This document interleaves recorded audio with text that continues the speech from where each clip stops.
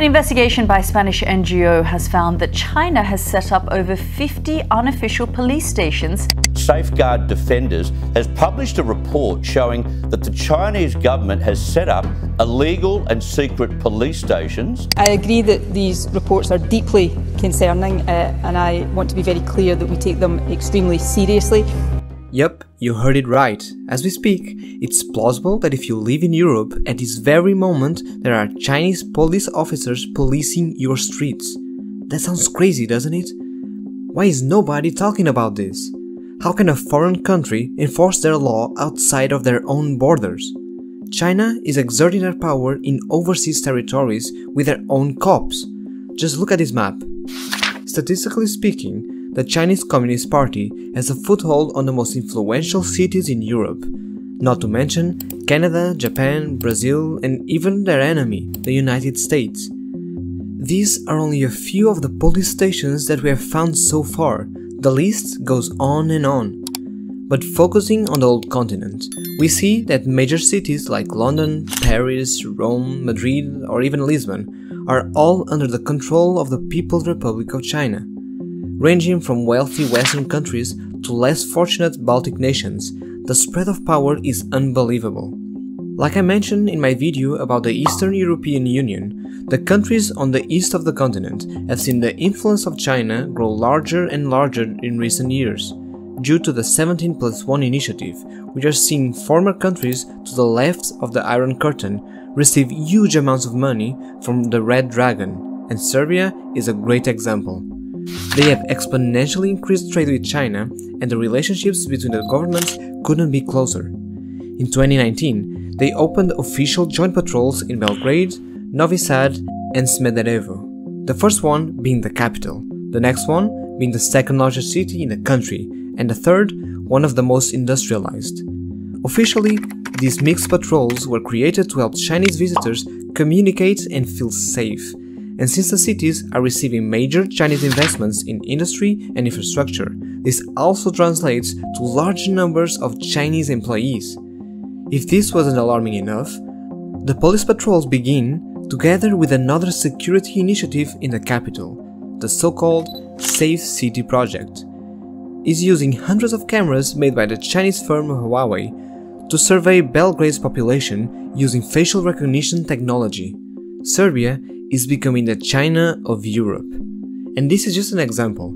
Take a look at this footage from Rome way back in 2016, where another joint patrol is taking place, this time with the Italian police, but you get the picture. This map shows the countries where China is an official international law enforcement cooperation, but these so-called overseas Chinese police service stations are a bit different though, due to one little detail. They are totally illegal. They have reportedly been influencing elections in the cities they operate and are set up to antagonize China's adversaries, especially Xi Jinping's critics. The CCP says that these service stations are used to help Chinese nationals living abroad and are aimed to help them file local police reports and other bureaucratic processes. But the report claims that this is a part of a massive nationwide campaign to combat the growing issue of fraud and telecommunication fraud by Chinese nationals living abroad. The Chinese Minister of Public Security himself claimed that 230,000 nationals have already been persuaded to return to face criminal proceedings in China. This campaign, which started on a humble scale in 2018, has developed alongside this establishment of overseas Chinese police service stations, sometimes called 110 Overseas, after the National Police Emergency Phone number, now found in dozens of countries across five continents. This is what the leader of the ONG, Laura Harth, had to say to BBC this week. I'm joined now by Laura Harth, who was part of the investigation team that discovered these uh, secret police stations. Thanks very much, Laura, for joining us here on the program. I mean, 50 unofficial police stations across 21 countries. It sounds just extraordinary. Yes, and it might just be the tip of the iceberg. These are the ones that we managed to document, um, just taking into account official Chinese authorities' sources. So we did not uh, invent anything, we just took them for their word. And I think the most worrying thing of, of this is how brazen it is all getting. Um, the introduction gave a quite good uh, overview of how this persuasion to return methods work threats, harassment, guilt by association punishment of family members back home, sending covert agents abroad, or using these kind of stations to persuade, coerce people into returning to, to China. Obviously, as safeguard defenders, we know we've been documenting these kind of methodologies, um, especially in our report prior report, involuntary returns, we know how this is part of a nationwide um, framework that has been set up by the Chinese Communist Party to really crack down on dissent and hunt people down across the world to make sure that the overseas Chinese, that the diaspora communities, and I'm thinking in particular also of those ethnic religious minorities, Uyghurs, Tibetans, Falun Gong, but also, for example, Hong Kong activists how they would remain silent or be coerced to return if not. Since this report came out, more and more of these police stations have been uncovered, but still, the information on this topic is very scarce. A recent documentary piece by the news station Voice of America has shown great examples of this new reality.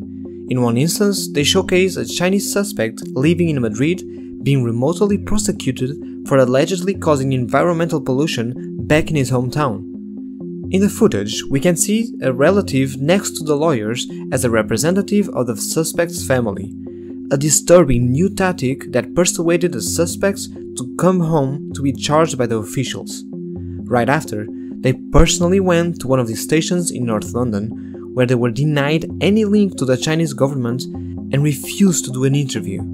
The last one, and most shocking, was when Finn Lau, the leader of the 2019 Hong Kong protests, fled to Britain for its own security, but it was attacked in 2020 right next to his home by three masked men who were convinced were working for the Chinese government. I don't really feel safe in London, especially after uh, the physical or near-death assault uh, in London. Because, well, uh, for years we have many different uh, Hong Kong and Chinese dissidents being uh, followed or assaulted uh, by the Chinese Communist Party by different means.